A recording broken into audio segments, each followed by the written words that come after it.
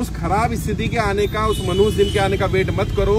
आपको पहले ही पता चल जाता है कि मेरी अगले महीने स्थिति नहीं है। दो महीने पहले पता जाता है कि मैं अभी ईएमआई नहीं पे कर पाऊँगा।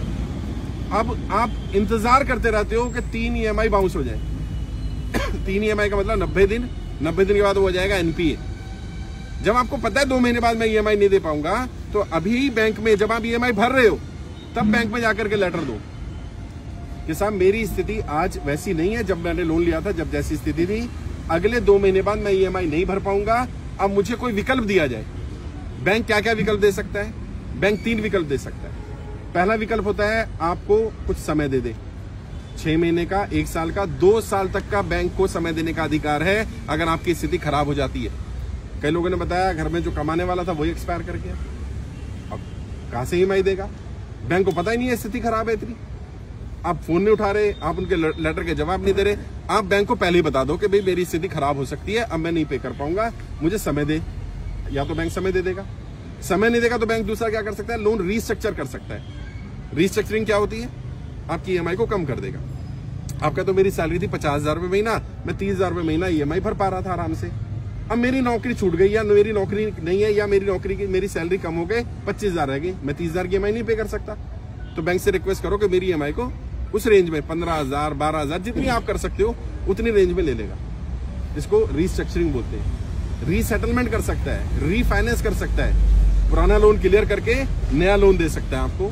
आपकी ईएमआई अब नई वाली जो बनेगी, वो कम बन सकती है। एक लीन पीरियड होता है। लीन पीरियड मतलब जिसमें आपको ईएमआई या इंटरेस्ट पे नहीं करना, ऐसा भी लीन पीरियड लिया जा सकता है छह महीने से लेकर के दो साल तक का।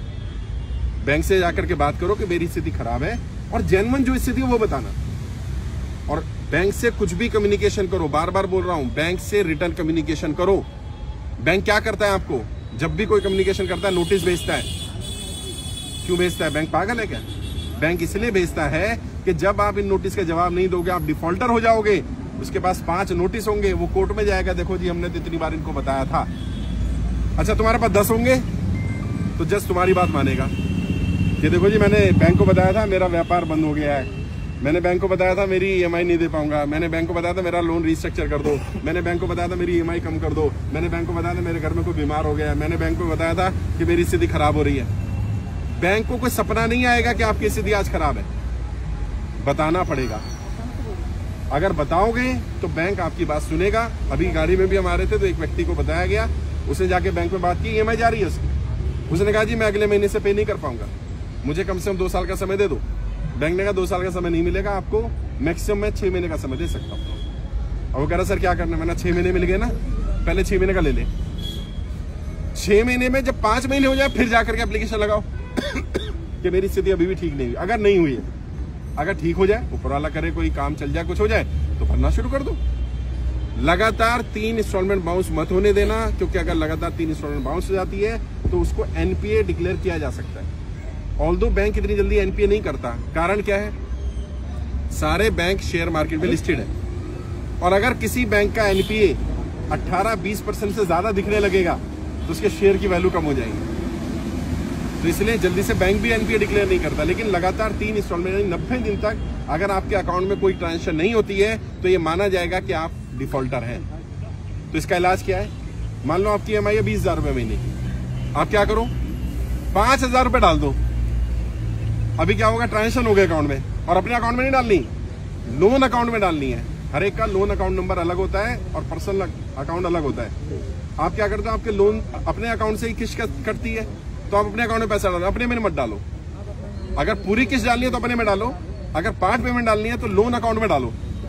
अब क्या होगा, उनकी स्टेटमेंट में आ जाएगा किसी ने पाँच हज़ार रुपए डाले। अब अगर कल को कोर्ट जाएगा बैंक कि आप डिफॉल्टर हो तो आप दिखा सकते हो। देखो जी अगर मैं डिफॉल्टर होता सर अभी मेरी भी तीन किस्तें टूट चुकी है मुझे फ़ोन आ रहा है बार बार तीन नहीं टूटनी चाहिए थी। अगर टूट गई तो अभी दस तारीख को तीसरी किस्त भी मतलब। हो गई? नहीं भर पाया। हाँ अभी टूट गई फ़ोन आ रहा तो था। बाद में बता देता हूँ अगर एनपीए हो गया है तो इसका भी इलाज है। बैंक में जाओ रिटर्न में एप्लीकेशन ओरल नहीं रिटर्न में दो कि मेरी तीन इंस्टॉलमेंट बाउंस हो गई है ये रीजन है। आगे से मैं इसको कंटिन्यू करने की कोशिश करूँगा। मुझे इन तीन इंस्टॉलमेंट के लिए समय दे दिया जाए तो बैंक के पास ये भी अधिकार होता है कि वो तीन इंस्टॉलमेंट को ऐसे ही होल्ड रखे और आगे की कंटिन्यू कर दे। तो क्या होगा? आपका आगे का कंटिन्यू हो गया। अब तीन में जब थोड़ा सा पैसा है थोड़ा थोड़ा करके छह महीने साल भर में वो तीन क्लियर कर दो। फिर भी अगर तीन क्लियर नहीं होते तो कम से कम एक ज़रूर क्लियर कर देना। नब्बे दिन डिफ़ॉल्ट नहीं होना चाहिए एक फाइनेंशियल ईयर में। अभी जैसे अप्रैल, इकतीस मार्च तक है फाइनेंशियल ईयर इसमें नहीं होगा। अगले साल में फिर आपको नब्बे दिन का समय मिल जाएगा। तो बैंक से बात करो कम्युनिकेट करो। अभी आपने ट्रेनिंग अटेंड कर ली होगी, मुझे नहीं मालूम, करी कि नहीं करी अटेंड करो।